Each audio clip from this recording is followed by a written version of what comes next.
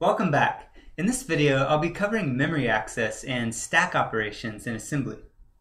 Technically, we've already seen one example of addressing memory, and that was in the Hello World program from the first video.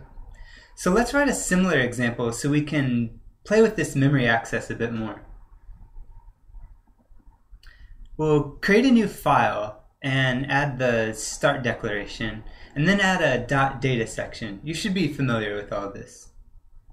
Then we'll create a new label in this section named ADDR, and that's short for address.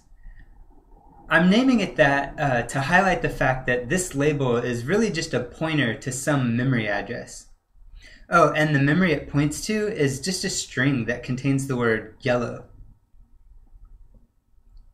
Then switch back to a dot .text section for our code and create the start label.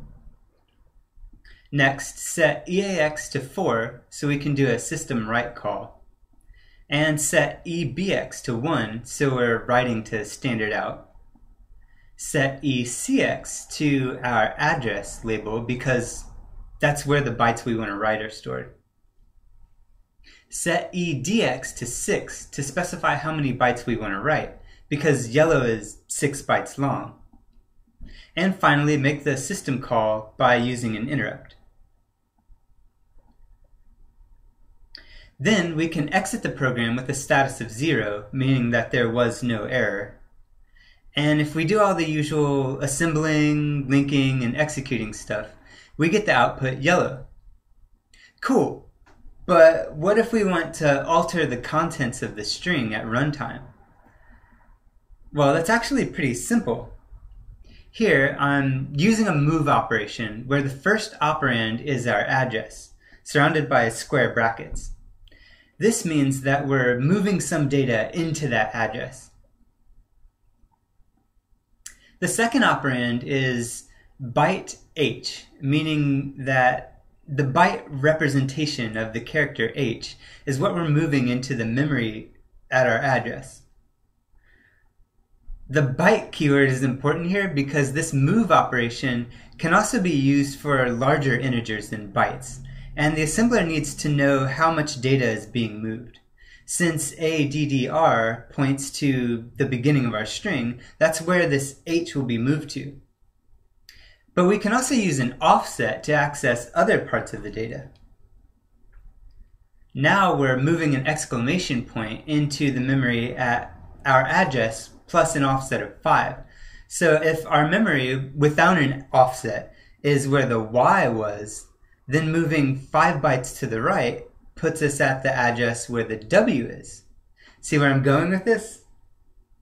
If we assemble, link, and execute, uh, will be greeted by hello, followed by an exclamation point. And that's how you're able to write to specific locations in memory. So far, we've been working with contiguous bytes in the data section, but there are other data types. Here are some examples of common data types. We've been using this db for storing byte strings like this, but you can also store byte literals. By the way, whenever a number begins with 0x like this, it means that it's a hex value. fx, or ff in hexadecimal is 255. But you can also use decimal literals uh, if you don't start them with 0x. Sometimes you want to encode a larger integer, so this DW data type is 2 bytes long. In other words, 16 bits long. And this DD data type is 4 bytes long, or 32 bits. There are larger types, but since we've been focusing on 32-bit assembly, I'll stop here for now. Plus, now we're at the perfect point to focus on the stack. You might recall that this is the last in, first out, or LIFO data structure available to us, meaning that it behaves like a stack of books, where pushing is like putting a book on top of the stack, and popping is like taking a book off of the top of the stack. And you should also recall that beyond pushing and popping, the stack is just an array with a pointer to where the top is. And also remember that we do have random access to this memory, meaning that we can read and write from arbitrary locations within it. But even if you do remember all of that, it probably still helps to see a visual representation.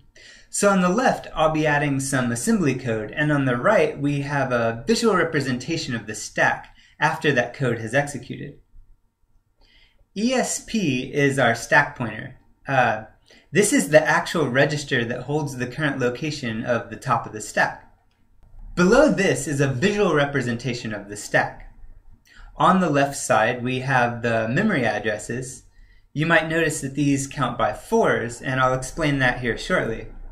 And on the right, we'll have the value of each of these memory addresses, so the value stored at that address. You might be wondering why I'm starting with the stack pointer at the highest memory address. And that's because this is exactly how x86 machines work.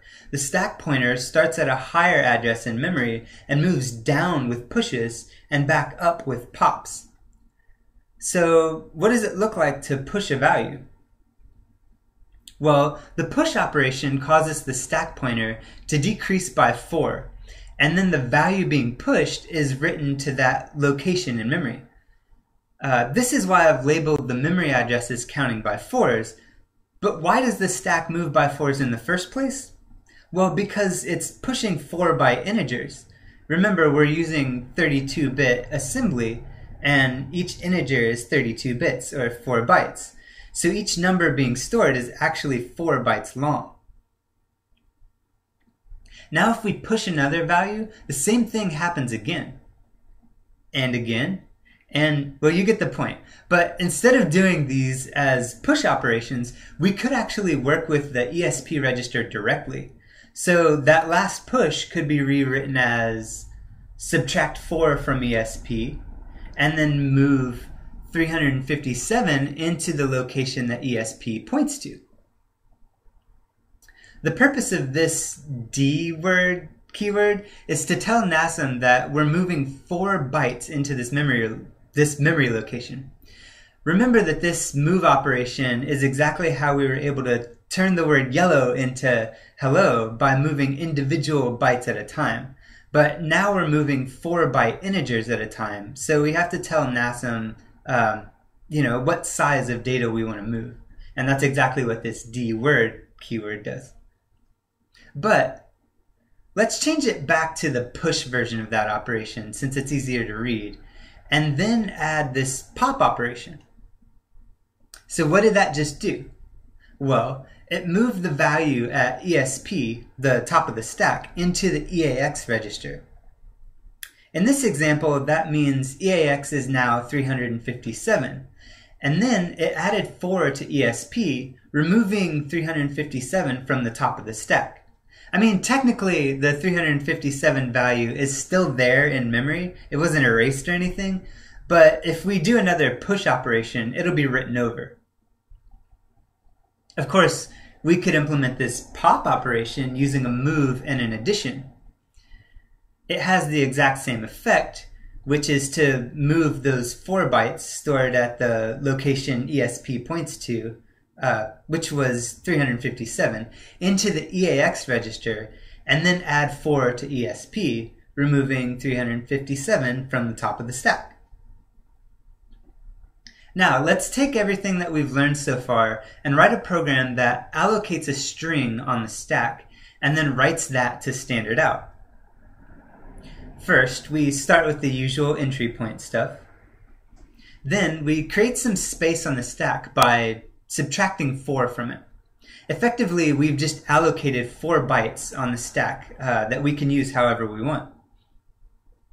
Now, move the byte h into the first, uh, the first byte allocated in this space. Move e into the next byte using the same offset that we used when we turned yellow into hello.